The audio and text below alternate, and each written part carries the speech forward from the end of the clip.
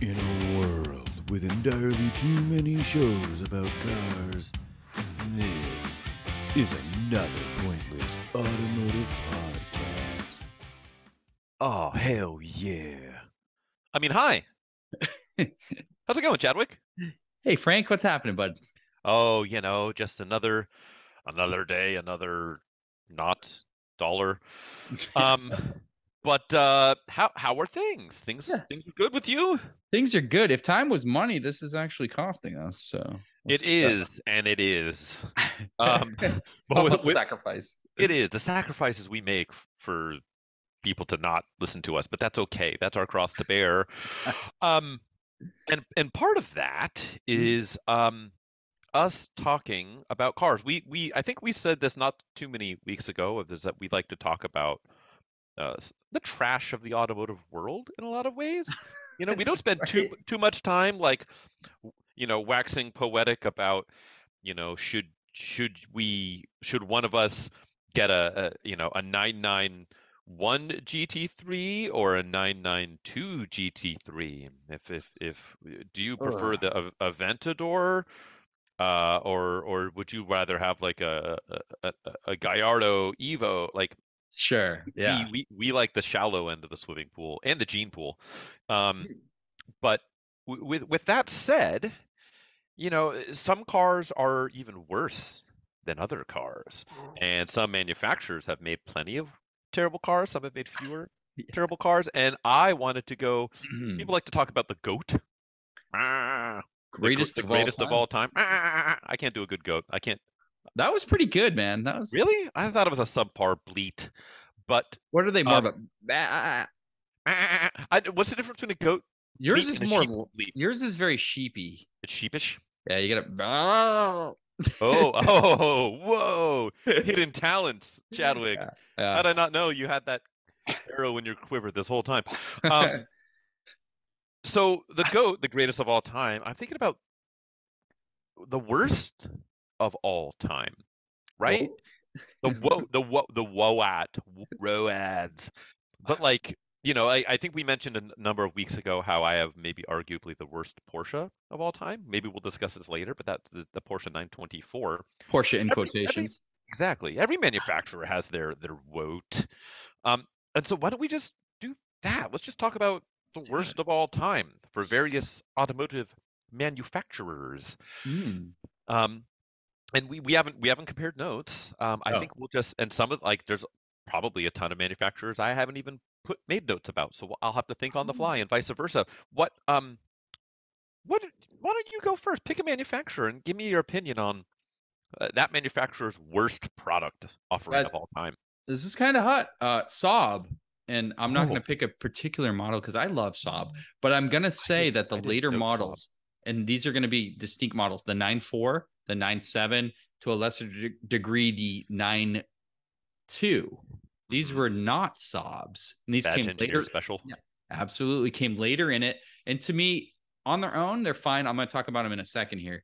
But what it signaled to me was the demise of the Saab brand. Once a company starts rolling out purely badge engineered products, it's not good. It's never a good Right. sign, right? Yeah. So nine seven was solid on its own. Uh, you know, you could get it with a five three or the bigger to that. Mhm. That that's where V8s, bigger V8, Yep. and those are fine. The nine four Aero was cool because it was so damn rare.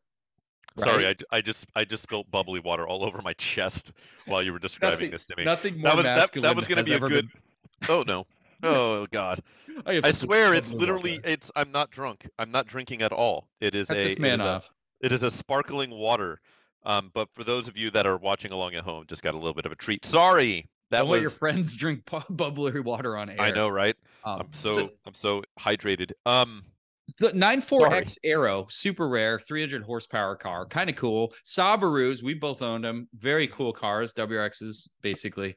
But boy, for me, uh, nothing really says like worse model than someone else's model, and that's all you offer.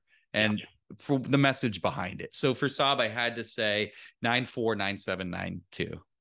I mean, that's that's that's kind of the death rattle for kind of all brands, right? Like that was Pontiac at the end. Um, I mean, that was kind of always old Oldsmobile's last I don't know decade of existence. GM up and down with Um, badge engineering along their their growth trajectory for sure. Yep. I mean Mercury, that was the death that was their death rattle at the end. Um so yeah, I mean that that's kind of it. And the 9 that 9.4 Aero that you're talking about, was that platform shared with like the um what's the Cadillac that nobody buys? They're SRX? SRX, yeah. Yep. Yeah.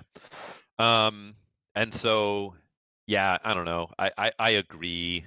I'm trying to think of one that was what was Saab's like worst pure Saab product. Got to go back a Um, ways. Yeah.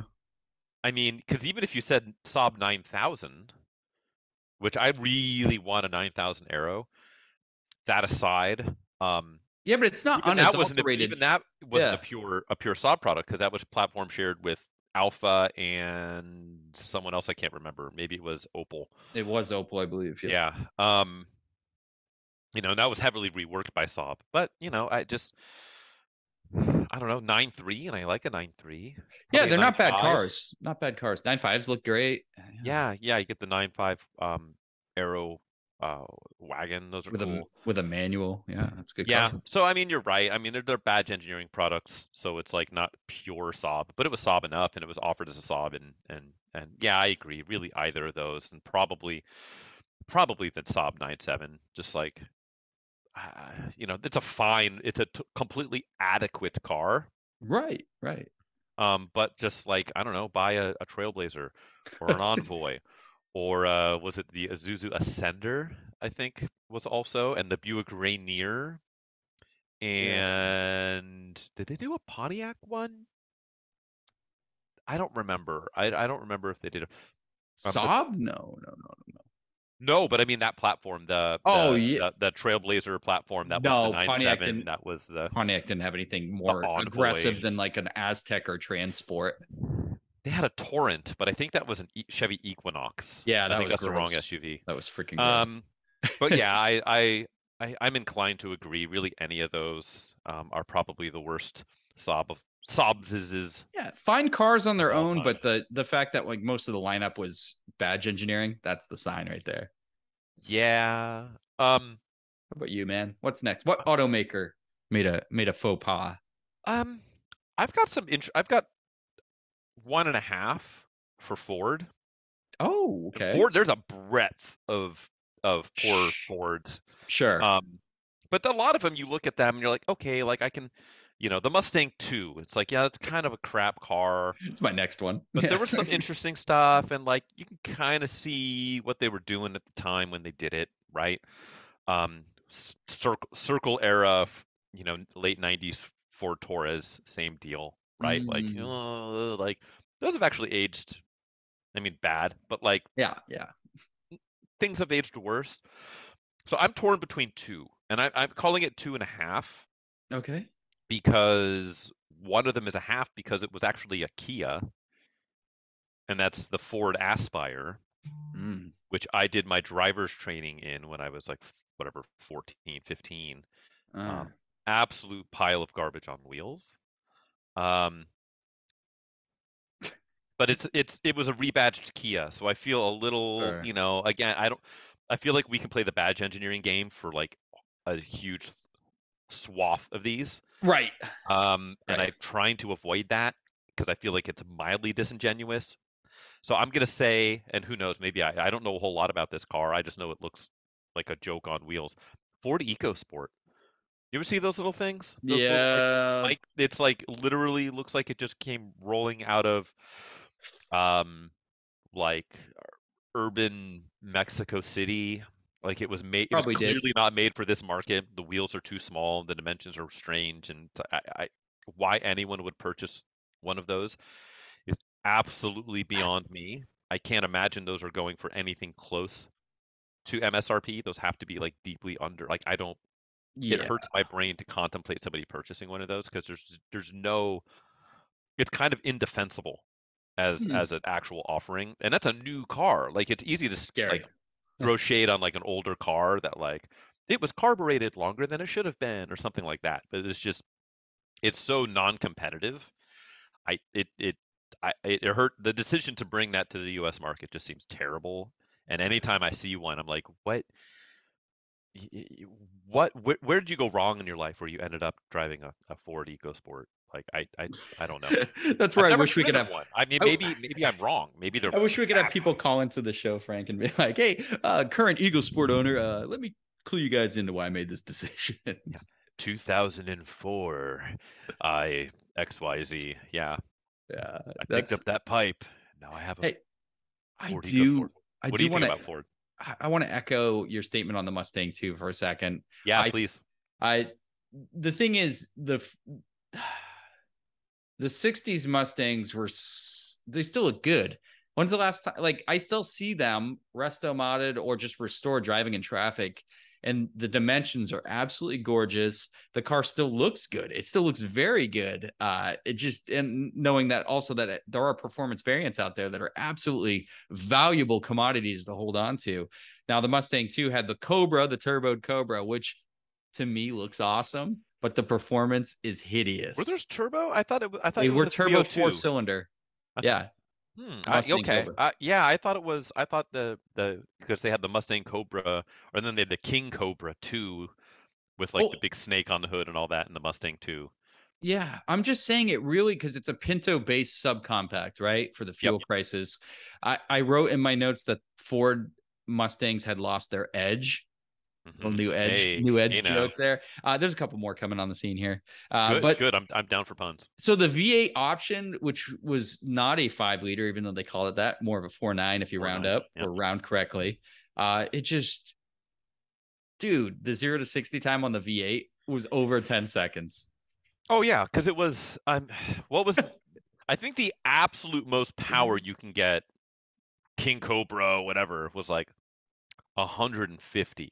Yeah, that's that's probably stretching it. I think around 140 was what Yeah. they claimed with the V8, and yeah, High quality dude. automobile. Come on. yeah after following that first gen i mean what are you gonna i just don't get it i just don't get it um i think in its time it was it was revered as pretty good because ford had to build a fuel economy car but keep something kind of sporty in the mustang Uh, I looked it up. Sorry, I looked it up real quick. I'm giggling because I looked up the the Ford Mustang 2 King Cobra technical data. Um, Oh, boy. horsepower with it, and this is V8. You know, it's got the big V8. This Top is like the line, baby. top, top, top, top of the line. 139 horsepower. Right there, Let's baby. go. hey that's pretty Yep. good at 140 i was off by one i, I spotted him one Yeah, and it was. It's just. Yeah, and it was a two barrel carb, oh yeah yep 8.4 to one compression, Cool. 17 miles a gallon. oh god and it came with a, a 264 rear gear, um, which is very tall. Um, yeah yeah, not. Yeah, yeah you're making me feel bad for for for picking the EcoSport because that's Yeah, the And I know the too. Mustang two, the Mustang two is kind of low hanging fruit. Um, it sure is I I do think though, if you had a perfect like top like decked out, it's not a good car, but if you had a perfect one, it'd be kind of cool. to Just like roll up in your King Cobra.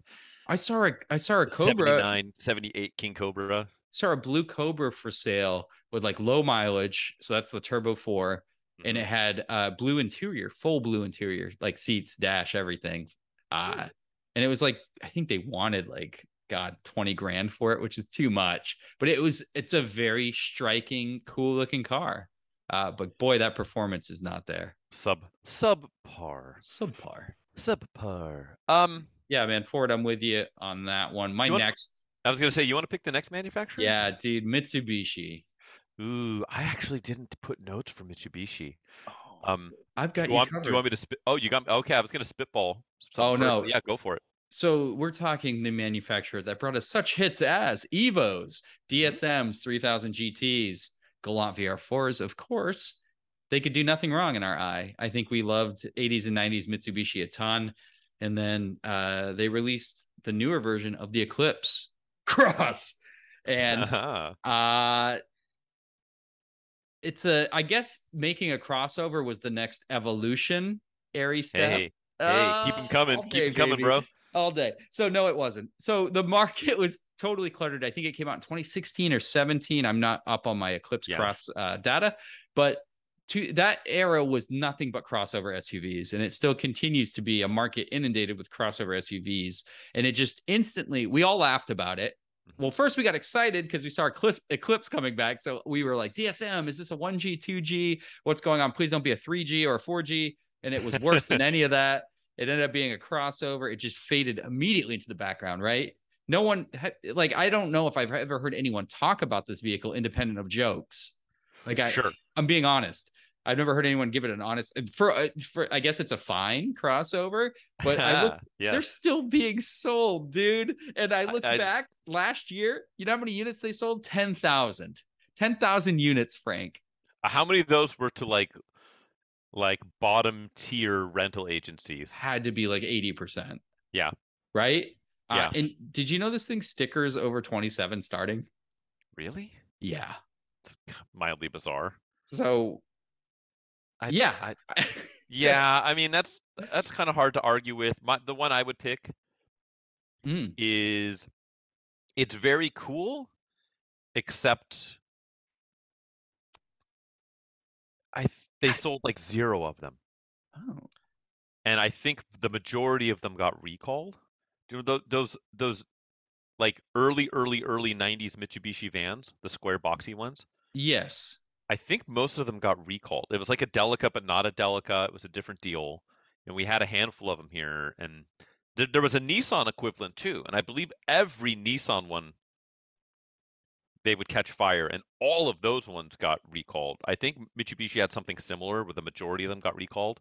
It was a cab over engine design, too, Correct. right? Yeah, Yeah. it was very similar to the the Toyota van at the time. That that whole kind of Japanese market adapted for for North America. Kind of like a model. Previa. The Previa was definitely a more more successful, obviously. Yeah, more successful, more robust, more advanced. This was like a cargo van, and I cannot tell you the last time I saw one. No, Um, that's a bust. but they were so they they they literally just couldn't function in this marketplace. That, that's why they didn't exist. Like you'll see the Toyota ones every now and then. Sure. The, yeah. Nissan ones, all of them were pulled off of the road. Like if you see one now, it's like seeing one of those um was like the Galaxy 7 or whatever, the the phone that would blow up on airplanes and stuff. Oh yeah, the no- Oh, that was Yeah. like a was that a note? I think it was the yeah the Galaxy Note Seven or Yeah, something yeah, like that. Yeah, they would they would just self combust. Mm, Um, uh, that was that's what the Nissan ones. All of those are gone. Like if you find one, it like has avoided the NTSA somehow. And then some. I think there was similar with the the Mitsubishi vans where the vast majority of them got recalled and they didn't sell hardly any to begin with. And so, um, yeah, I I, I, I saying. I think you're have the you have the correct answer, and I'm just trying to be a little bit mildly contrarian. But a, a van in the time of minivans, and you can't even sell them, and then the ones you do sell come back. Like yeah, that kinda- sucks. Because they had they they had the Expo at the time, right? Or this yes, does this predate the X? No, it would be about the same time. I think it's con- yeah, con- like yeah, they were they ran at the same time concurrently. Nice. So, quick question. I know your Uh-huh. answer. Do you boy. take uh, one of those vans if you could source one today with a manual, cool little boxy van, Mitsubishi, or would you take an Eclipse Cross? Give me the van. Give me the what do they call- 100%. I want to say maybe they called it like a star wagon. I don't remember what they called it. Um, but they were cool. It was like a lowered Delica That's cool. kind of a deal. Um, and I want to say yeah, early, like early early eight or sorry, early early 90s, maybe late 80s. Um, they had them, and I can't remember the last time I've seen one. I want one. unintentional, unintentional seat warmer feature. That's cool. Exactly. Yes. Exa- yeah. That's and then the Nissan ones went full full he- seat heat destruction. Um, there are so many manufacturers. I know. I know. I tried to avoid the obvious stuff there. Um, worst Mazda. Let's go. Let's go. Let's go. Not obvious. In that same vein, um, I have one that's a little different. Um, do you remember the CX-7? Yes. and That came out with the CX9 at the same time, right? Yeah, but the CX-7 was like the mid-size one, and they were all that 2.3 turbo motor. Yep. Same as the Mazda drive. Speed 6 and 3. Yeah. hmm And they they looked pretty cool. They were they almost look like a like an SUV version of an RX-8. You think so? I think A they little look a bit, little a Ford little bit. edgy. They look a little kind of both. edgy. Yeah, like if you, if you if they had an unholy um tequila fueled night and uh produced a an uh an automotive offspring, Mm, it'd be the CX7. Um they were banging bumpers. I had contemplated I had contemplated my wife was looking for a car at the time in 2011-ish, 2010, 2011. We ended up at the time with a new a then brand new 11 Kia Sportage okay. um, moderately optioned, and but we was looking like, okay, well, what other stuff gets a little nicer that can we get that was used? And so we were looking at one of those, but they were just they had a re- reputation for being just like world class unreliable, yes. And to that end, but it was like, oh, it's a turbocharged four cylinder. It's kind of it's basically roughly the same motor out of the Mazda Speed 3 hmm and that's kind of fun but like they got brutally bad gas mileage and they just like shredded transmissions and, and and diffs and all kinds of stuff. I can't remember the last time i they were around like they sold a lot of those. I can't remember the last time i've even really seen one.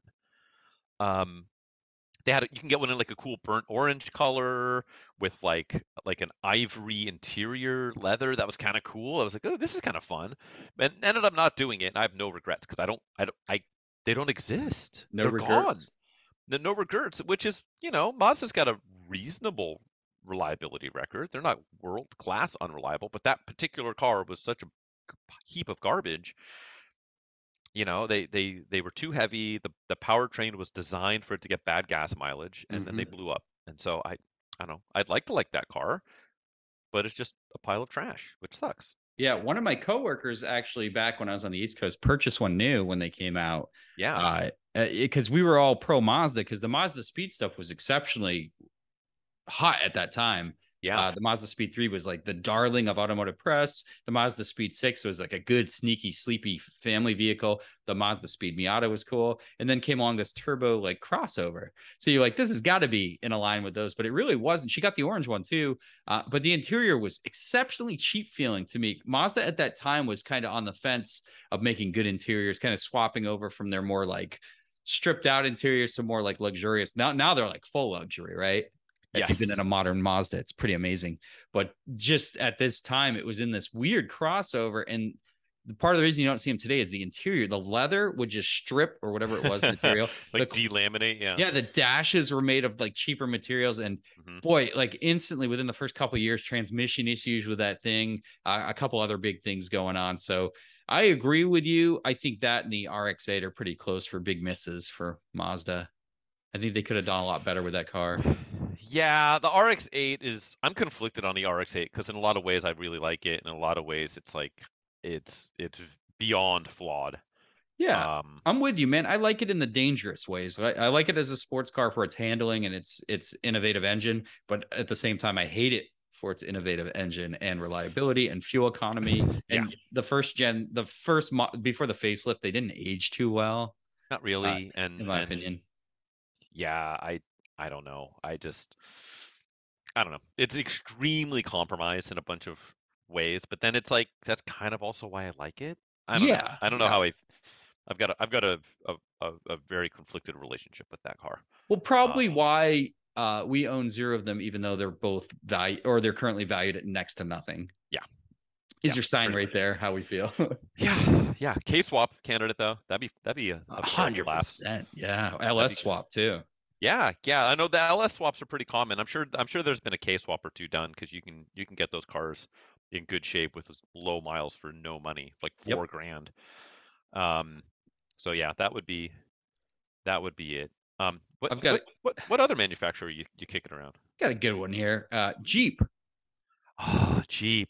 You ready for I this didn't one? think about Jeep, but Are you ready yeah, I mean, there's there's a couple of this turd bomb I'm about to drop. Mhm, Uh, we have Wrangler Rubicons running literally everywhere, right? Going off road, mhm. uh, well sought after, very premium vehicle.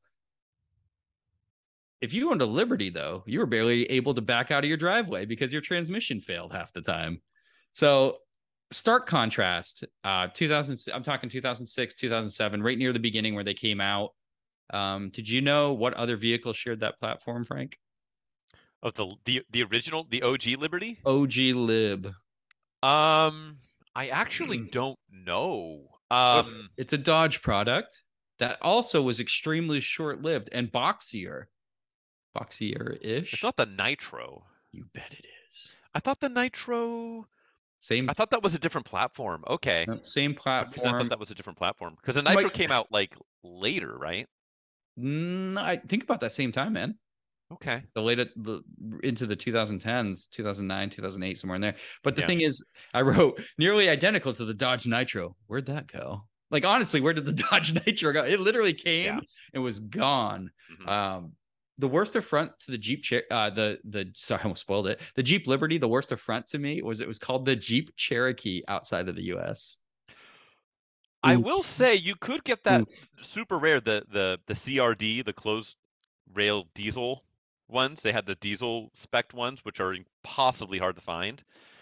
And I was actually mildly okay with the styling of that thing. oh god Um, dude it's awful Not as bad as what my selection would be for jeep for Jeep. are you gonna say wagoneer No, the Compass, the Jeep Compass, which is basically I don't know what its platform shared with, but I feel like it's the same as like the the Dodge Caliber.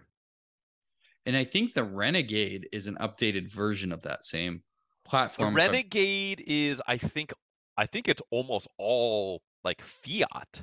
I know the drivetrain on those are Fiat, and I think it's I want to say it's like the same platform as the the 500 L X or one of those, yeah, The 500L, LX, one of the ones that like genuinely nobody cares about That- existing. That makes sense, but I, dude, but I get what you're saying. The Compass is equally poor, Compass is horrible. I, I don't think But the the- Compass can do anything outside of a gravel parking lot. Versus at least you can kind of beat up a Liberty a little bit. Like it has, I think it's got an actual transfer case. yeah, but the Liberties at the time they came out, uh, those early ones with their engine and transmission issues, was one of Yes. the. It's the all-time least reliable, and we're talking about a Jeep product. So I oh, think it, it very well leads- could be. It maybe it, it has a little more off-road credit than the Compass, but the fact that the transmission will fail even trying to do something remotely off-road. Do you want to know? Do you want to know the platform mates? I just uh, Wikipedia'd it real quick. Platform mates for the first generation Jeep Compass: What? Dodge Caliber, Okay. Jeep Patriot, Oof. Mitsubishi Lancer, and Mitsubishi Outlander.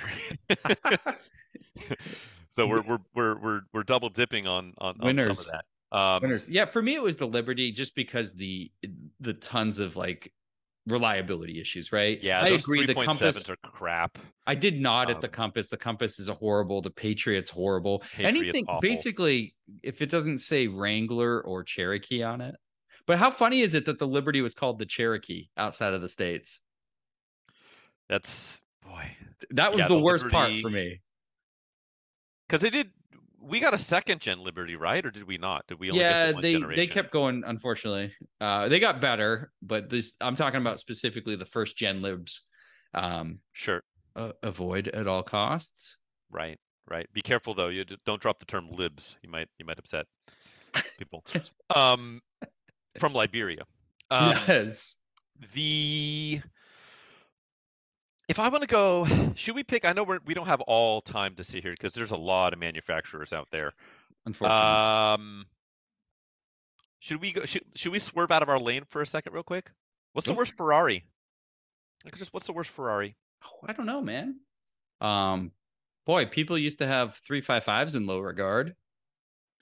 Yeah, but that car's always been pretty at least and made good noises, even if it like will absolutely try and s- kill you while you sleep as far as maintenance costs and repairs. Are you gonna go. say like a real Ferrari? Or are you gonna say something that's branded as a Ferrari? No, not like a not like Barbie's Ferrari. Like a yeah, it's a, a, a real Ferrari. I'm gonna go the 400i, which was their like two plus two V12 car. Okay. From that particular one is like I think like 79 or 80, made to like 84 or 85.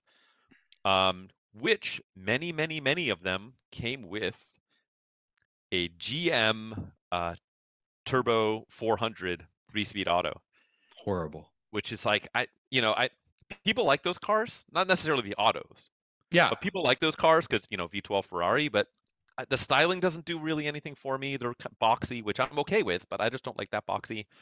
Fair and enough. people like people like to call the Mondial the worst, but I kind of The I, I like a Mondial coupe.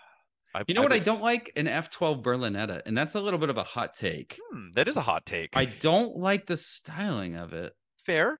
I like I like a mid-engine screamer. I mean, that engine's wonderful, but I just Yeah. don't something about the looks of that vehicle just doesn't. I don't know. That's you know fair. what I'm saying? Yeah, I don't that's know. fair. Uh, you know, I, there's a lot of that. Like the 612 is one that people yeah. have the same kind of opinion on. I think the 612 is like endearingly goofy looking. Yeah, like Uh, an FF. An FF is kind of weird looking too, right? Like, Yeah. but it's kind of like Yeah, a shooting brake, which GT4 is Lusso. cool. Yeah. that same that whole deal, that whole generation of Boy, we better. break style. All but- right. Well, I think we did it, man. I think I think we did a great job of naming some woats and calling out some horrible performers on various makes. Yeah, we might have Um, to we might have to do it again sometime and come I like come that. at Honda and Toyota and Lexus Oh. and, and some of that. I have notes on that, so that'll that'll go for another day. um, absolutely. because otherwise we would actually be here all day if we tried to do all this. So, how about an automotive uh, print ad quiz uh, session, my friend? oh boy, oh man, And you're on Um, the hot seat today. I am on the hot seat, and I don't I don't I don't know if I'm equipped to take this hot seat, but I don't have much of a Oh. choice. Okay. in the matter. So while you cue this up, I will clue the people in on what we are doing here today, which if you haven't figured this out by episode 70, whatever, um, then that's actually our problem, not your problem. Um, what is going to happen here? Chadwick is going to pull up a piece of automotive print copy, an advertisement that came out of a magazine or some sort of uh, publication that was in print media, and he's going to read that type copy, that print copy, um, redacting out any overly identifying information, such as the make, model, trim levels, things like that. It will then be incumbent on me to, within three guesses, try and come up with what the make, model, preferably close to year and trim model as best I can. I get three guesses. I get 10 minutes. I get to ask for hints. If I get a guess wrong, I can ask for a hint and help Chadwick lead me, the horse, to the answer, which is the water. And with that said, Chadwick, you want to read me some print copy and I can try and nail this bad mamma jamma? Absolutely, my friend. So let's break down the print ad for you. At the top quarter of the page, there's a side profile of a gentleman piloting this vehicle, and there's blur action lines definitely added into post to make it look like it's moving Oh, quickly. moving. First line is the headline, if you will.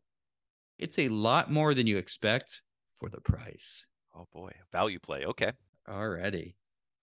The new blank blank. You expect a lot in a car. State of the art engineering, a comfortable interior, nimble handling, and snappy performance. Ooh, peppy. The blank blank was designed to deliver all of this and more for an unexpected price. Mm. More engineering. Blank's world class. you expect more engineering. Not Uh, better, just more.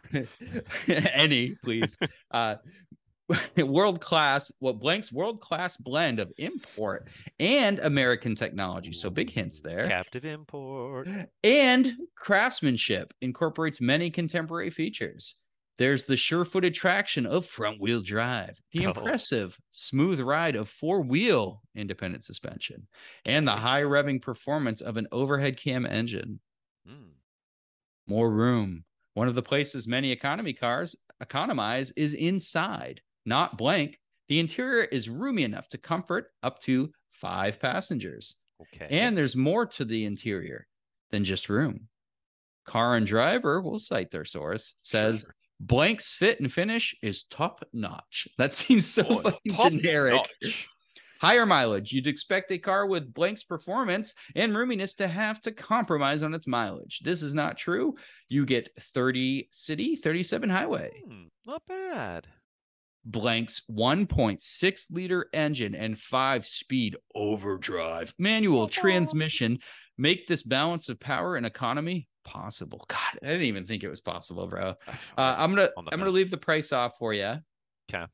It includes for the base price. It does include standard features like these things that you might not expect: reclining front seats, cut pile carpeting, Ooh, all season radials, tinted glass, rack and pinion steering, and power front disc brakes. And then it talks about financing. mm. That's enough there- for now. Is there a one eight hundred number to call?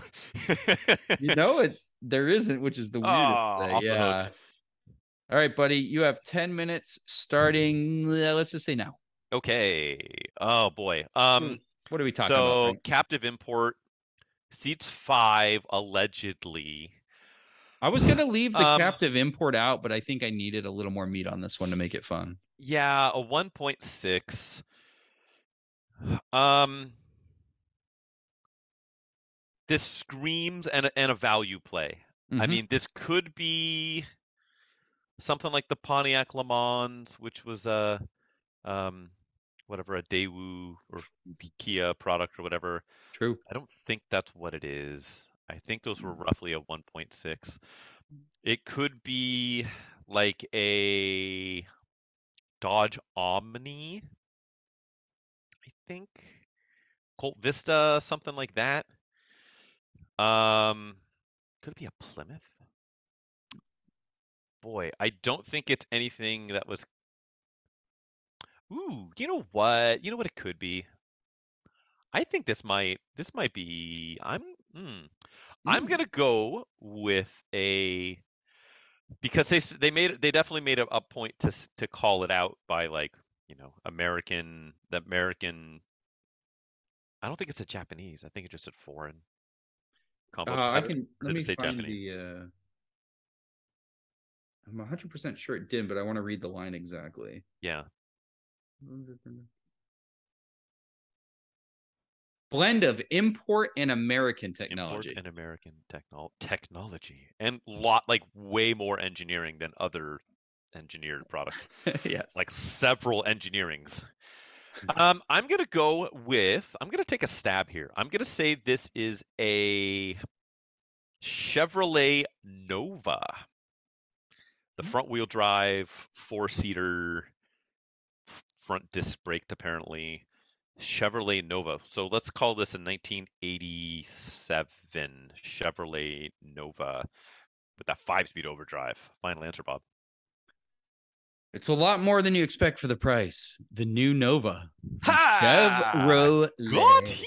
Chevrolet. Good job, man. Hey, look at that. Um, yeah, I wanted to originally leave that part out, and then I'm like, no, nah, we're gonna. It could be a lot of things. The 1.6 was pretty popular engine. yeah, it was. I know the four the four A FE motor that they had in that. Um, or maybe it was just the four A. It might it might have just been straight up carbed. Um, no, the overhead. I don't know. Might have been carbed. Didn't But, they have the um, 4AGE in it, right? That was in the hot, the spicy version. Correct. Um, that was in the twin cam. The they had a, a lower performance twin cam. That was the FE motor. Mm-hmm. That was good for 100 and I want to say 105 horsepower. Which was pretty And then they had a that. carbed version, single overhead cam, that was only good. That was shared with like the SR5 Corolla, and that was I think only good for like 90-ish horsepower, maybe 88. Dude, it, how sweet would it be to score a Nova twin cam? They're like Oh, exceptional. they don't exist. Those were- Yeah. were those all black, or did I make that up in my head canon? I don't think they were all black, were they? Okay. No, they can know. be. I don't know. Maybe. They, they they sold like 12 of them, so So cool though. very cool. It was like a Um, Celica GTS before that came out. Sort of, yeah. It was it was the it was like a four door version of the front wheel drive, um, the AE ninety two. So that's yeah, like this, the yep, this that was it. the. Corolla, yeah, Oh, the, the- Corolla, like the Corolla GTS twin Yeah, cam. And the Celica GTS, same engine. That that sweet Uh, ass. no, they had a two liter, so you got the three SGE. Oh, that was right. a hotter, that was a, a spicier cookie in that eighty six to eighty nine gen. What about the? What, am I blanket? What's the '92 pop-ups?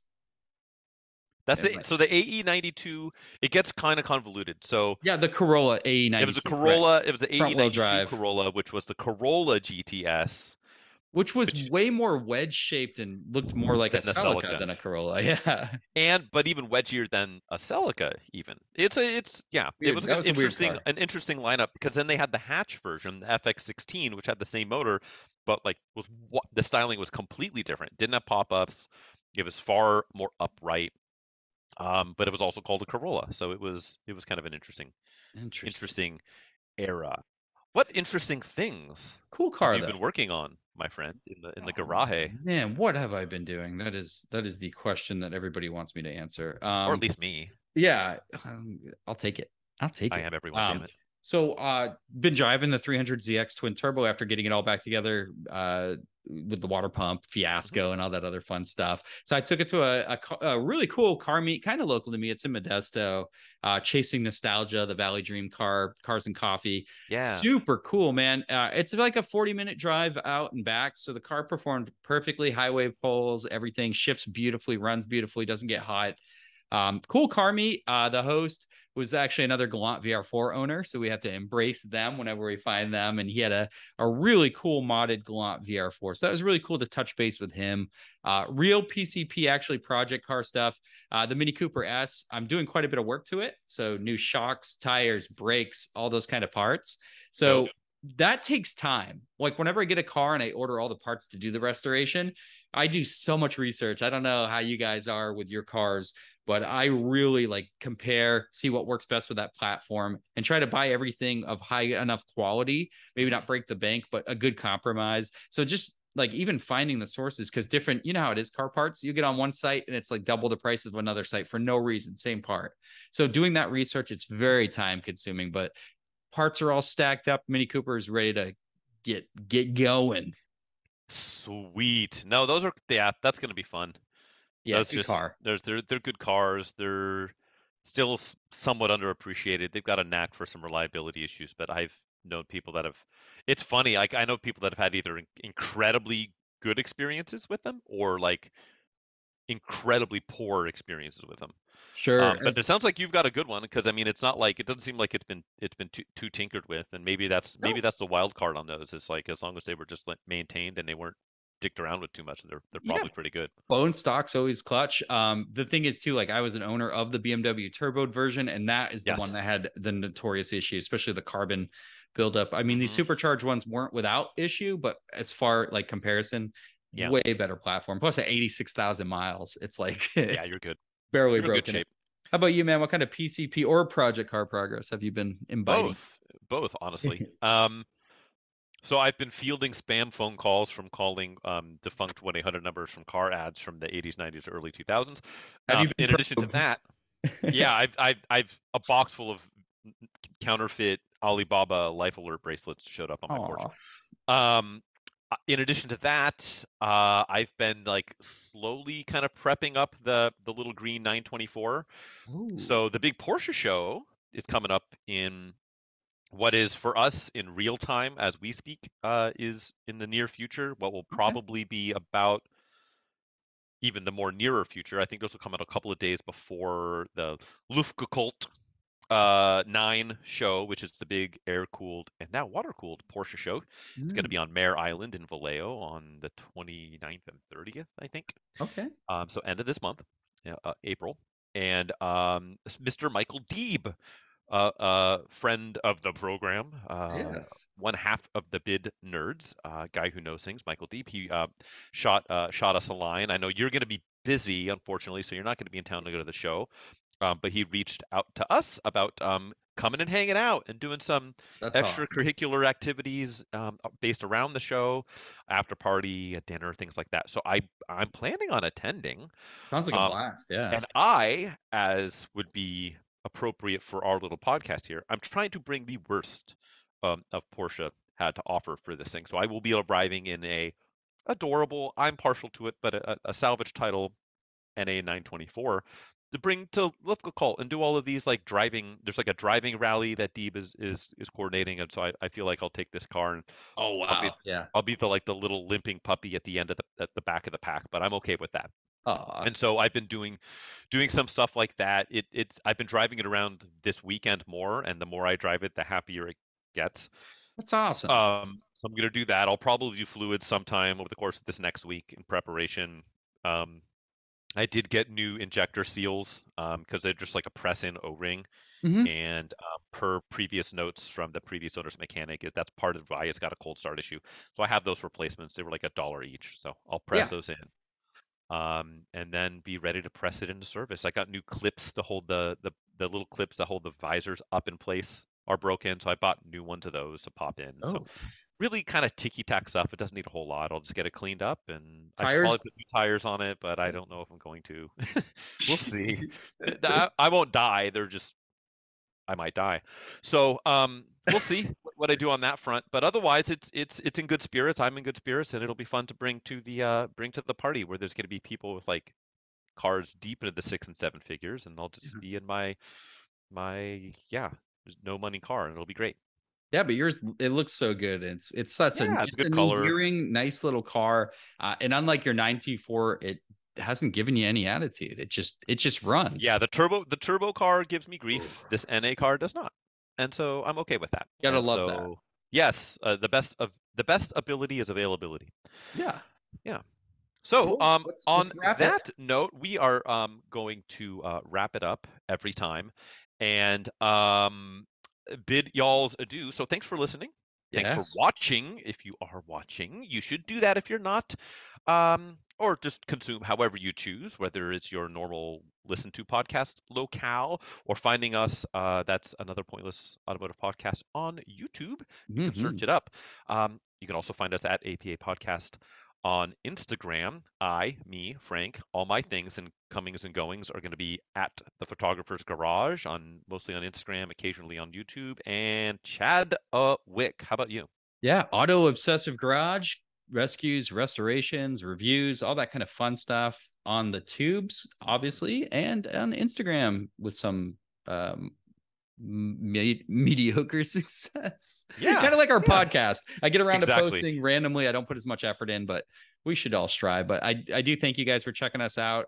Thanks, uh, guys. We enjoy And doing gals. this, and we hope you guys enjoy it as well. So we'll catch Yeah. you all next time at another Pointless Automotive podcast. Take care, guys.